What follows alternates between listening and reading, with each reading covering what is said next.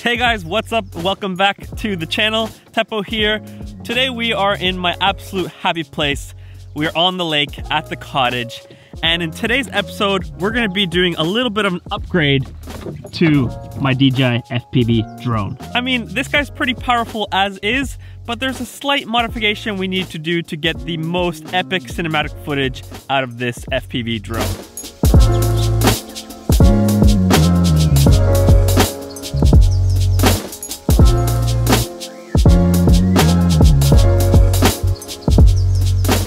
Now, I have a few flights under my belt with the DJI FPV drone, and in my opinion, this is a great starter FPV drone.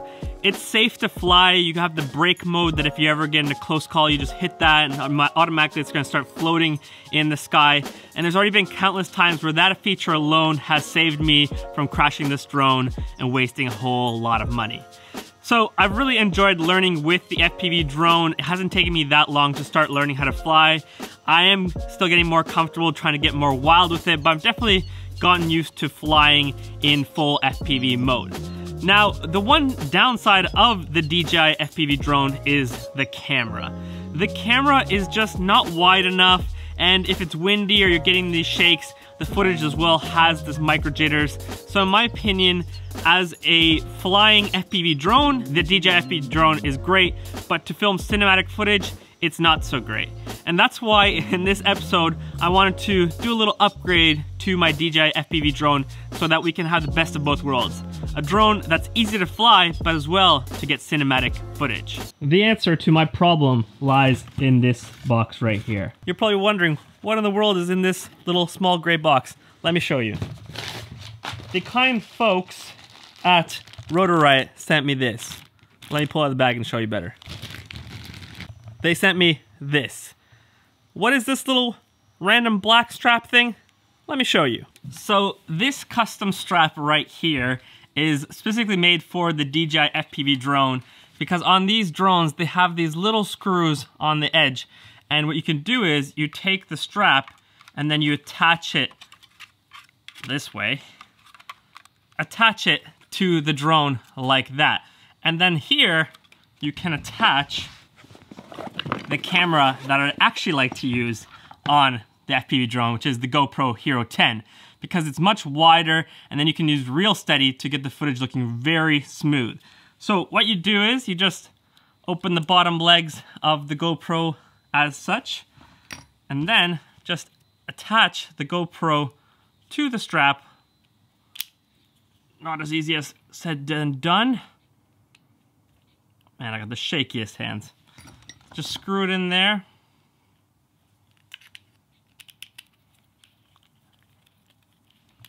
Screwing it into the strap.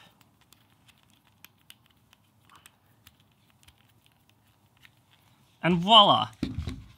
Then we can essentially attach the GoPro to the FPV drone, meaning we'll have the best of both worlds. We'll be able to fly smooth, easily with the DJI FPV drone, have the safetiness of being able to brake at any point and not crash, but we'll have the wide cinematic look of the GoPro Hero 10. So what we're gonna do is we're gonna attach the strap to the drone and then we're gonna go for our maiden voyage with the DJI FPV drone and the GoPro Hero 10 setup. And let's see what the footage looks like coming out of this epic cinematic setup. It's a good thing I got my trusty screwdriver set.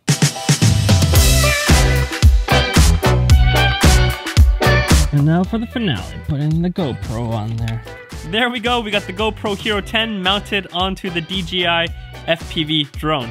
Very excited to see how the footage is going to look from our first flight. Now the hardest part is going to figure out what angle should I have the GoPro out because usually with the DJI FPV drone you can just tilt the camera up and down but I'm going to have to pre-select my angle so depending on how fast I'm flying this just needs to be angled a certain angle. Now this is gonna be one of those things where it's gonna be trial by error. You know, the first few flights might be absolutely horrendous. The footage might look terrible, but then I'll figure out eventually what the right angle is for my flying speed and style. All right, we got all the things set up.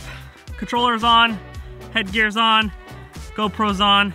Now we're just gonna launch the drone, get this in the air first. That's the main thing.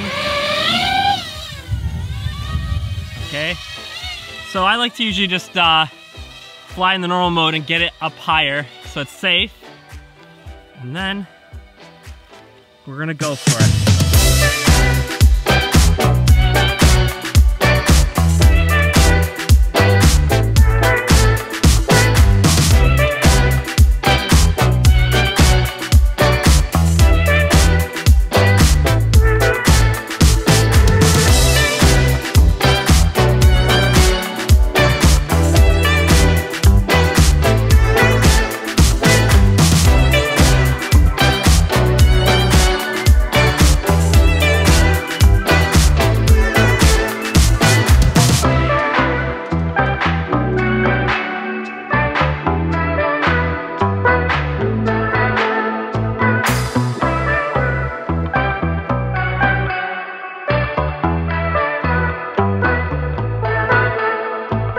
Right, let's check out to see how we did. FPV is back in one place. Let me adjust the angles. So let's see, how did we do with the GoPro? Okay, the tilt, the tilt was good. Maybe could have been a little bit up, but oh yeah, the the GoPro wide angle just looks so much better right away. And the GoPro's got surprisingly good dynamic range, which is is nice. I definitely got to get a little bit more aggressive still, but man, this is sweet. This is like the ultimate setup for the DJI and the GoPro. Oh yeah, and thank you again, Rotor Riot, for sending me this uh, GoPro mount for the DJI FPV drone. Really easy to install and use, and it's solid. So thank you so much. I'll make sure to link it below if you guys are interested in getting one yourself.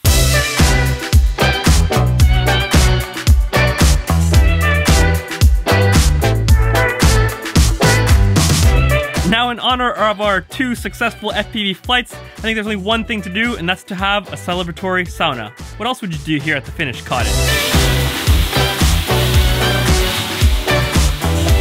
Ooh, let's go, let's go, let's go! So hot.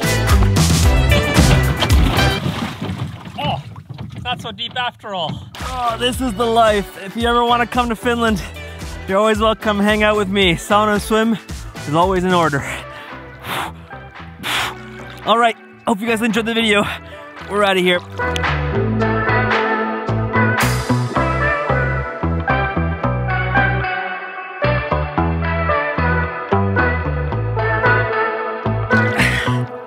We're still in the lake, actually. There's nothing more refreshing than sauna, swimming, and the nature here in Finland. It's honestly one of the best things in the world, if I say so myself. I might be a little bit biased because I'm Finnish, but that's my opinion. Hey, buddy, how do you like being in there? Hey, Lennox, what's up, buddy? Haha! Dad life fully on here right now.